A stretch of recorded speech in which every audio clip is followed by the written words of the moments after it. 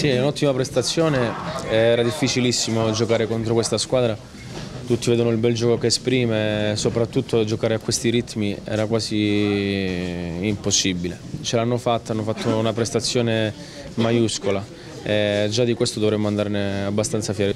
Sì, su due nettissimi, diciamo, però purtroppo quello, quel che è fatto è fatto, possiamo solo recriminare adesso. L'unica cosa che magari un po' mi lascia l'amore in bocca è, la, è il fatto che non, la decisione non sia stata giustamente vista sotto la lente di ingrandimento della VAR, perché si dice che era passato troppo tempo dal, dall'episodio, quando a Bologna c'è stato fischiato comunque un rigore dopo 4 minuti, quindi penso che avevano tutto il tempo per esaminare, per esaminare l'accaduto. Sì, i 15 punti sono diciamo, lo specchio di questa stagione al momento, potevamo, avere, potevamo averne qualcuno in più, però eh, sicuramente continu continueremo così. E il mercato come detto aprirà subito dopo questa partita, siamo già al lavoro,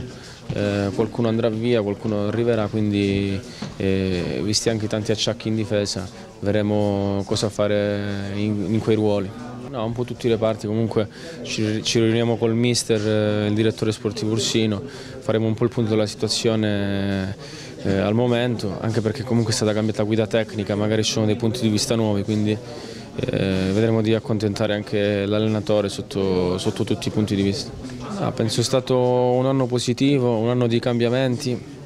eh, eravamo abituati a un, un tipo di gioco,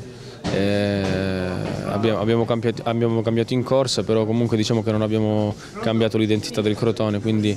diciamo che continu continueremo a lavorare come siamo abituati a fare e vedremo cosa ci porterà il 2018. Siamo partiti con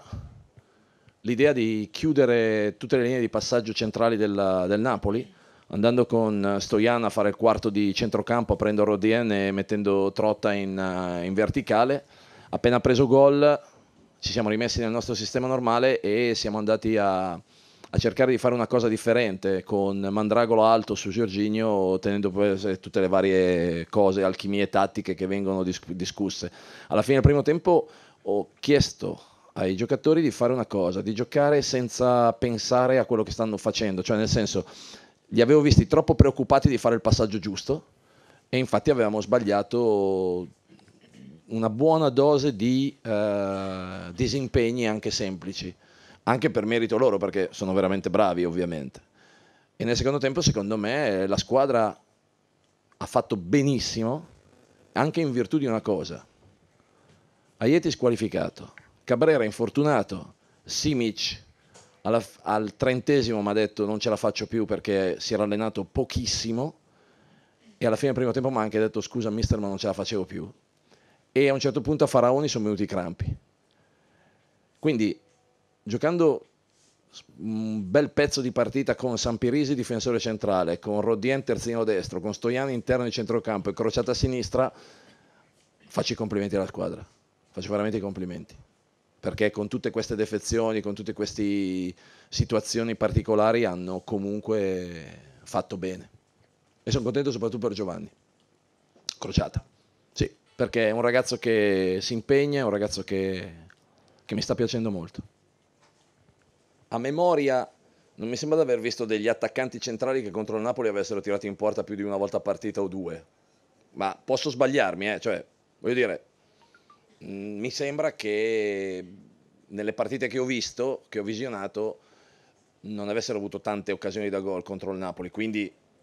ci sta che magari in questa, in questa, particolare occasione non sia arrivato a tirare in porta. Quella, quella volta che è arrivato e che era in apparato era, era in, in fuorigioco. Però siamo arrivati con altri, in altre maniere. E però lì è uno dei punti dove stiamo lavorando e stiamo cercando di migliorare questa situazione perché vogliamo che Budimir giochi nello spazio porta e che non vada in giro a, a sprecare energie. Sinceramente eh, il Napoli è una grande squadra, ha avuto occasioni forse più nitide delle nostre, però per, il secondo tempo che abbiamo fatto secondo me meritavamo pienamente il pareggio. No, sicuramente questa prestazione ci deve dare coraggio dobbiamo, non dobbiamo più ricascare negli errori come, come, è successo a Roma o come contro la Samp, contro l'Atalanta che al primo gol mollavamo, perché abbiamo dato dimostrazione che le partite contro qualsiasi squadra puoi riacciuffarle se rimani sull'1-0, perché oggi sono capitate tre occasioni più altri due dubbi, rigori e quindi potevamo riuscire a strappare un punto.